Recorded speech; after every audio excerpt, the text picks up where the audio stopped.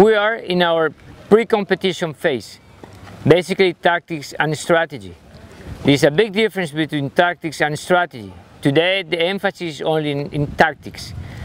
Tactically, the students need to know where they are on the court, what position they are on the court.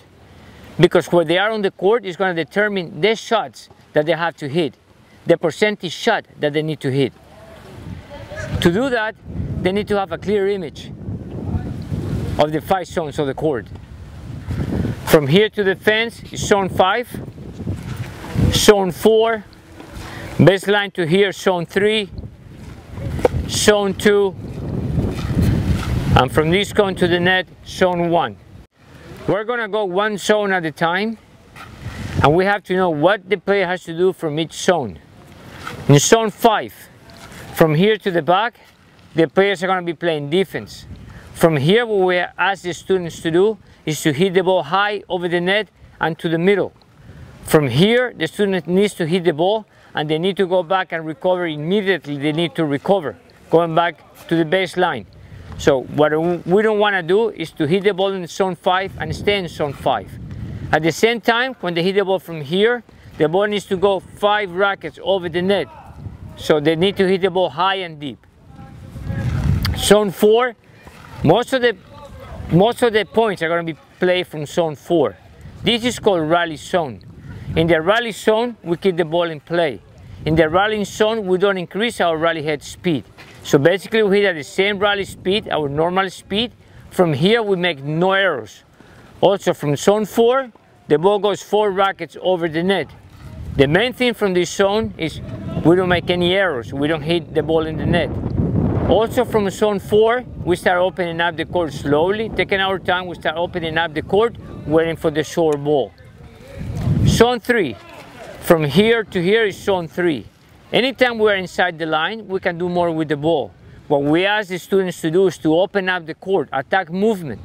The opponent has to be moving from three to six steps every time he makes contact with the ball. So from here, we need to be opening up the court. If I'm inside the court and I don't make the opponent run six to three steps, I'm wasting my opportunity. Also from here, if I hit a very good shot, I can follow that shot to the net. If my shot is weak, I need to go back to position again to the baseline. We have to take advantage of this zone. The angle shots from this area, the angle shots are very effective. From here we move to zone 2. As we can see, zone 2 is the biggest zone. Is the biggest zone. Most of the players today are aggressive baseliners. Aggressive baseliner means that they keep the ball in play from zone 4. Anything that bounces in zone 2 they're going to try to put the ball away. They're not going to hit an approach, they're not going to hit a slice, they're not going to hit a drop shot from here. They have to put the ball away. One of the key characteristics of the champions is that they have no fear. Anything that bounces this short, they're going to look to hit the ball. And that ball cannot come back. Now, we're looking for the forehand. So anytime the ball bounces in this area, we ask for the students to look for the forehand. Even if they are off the court, they need to look for the forehand and they need to put the ball away. We're going to talk about how we put the ball away later, or the, the mechanics or how we put the ball away. But tactically on zone 2, we hit the ball expecting the ball not to come back, but at the same time, we have to follow the ball to the net. We don't want the students to hit the ball from here and run back to the baseline. We want them to hit the ball from here and follow the ball to the net. The way we follow the ball to the net is we always follow the ball. So if I hit the ball down the line, I cover this area. If I hit the ball cross court, I cover that area. But I always follow the ball. Now, zone one, when we come to zone one, from here we finish a point.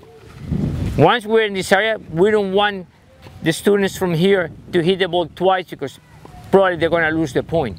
From here, they come to the net and they put the ball away. We wanted to put the ball away, hitting the volley, cross court and short, stick in the volley. No touch, no finesse, come here and stick the volley, cross court, open up the court right away. From here, zone one, they have to finish a point.